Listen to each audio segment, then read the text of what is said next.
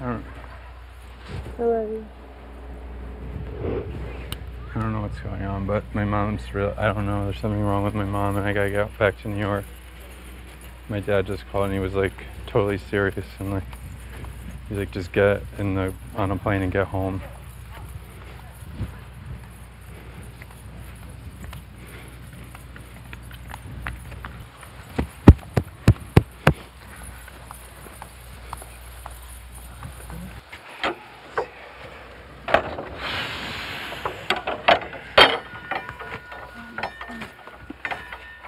Mike, we love you, man.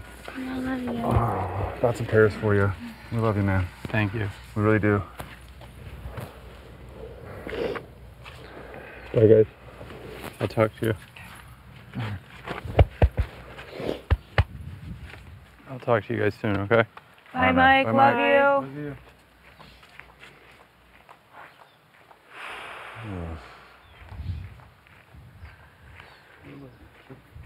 Damn, man. Yeah. Oh man, what's happening? That's got me feeling chills.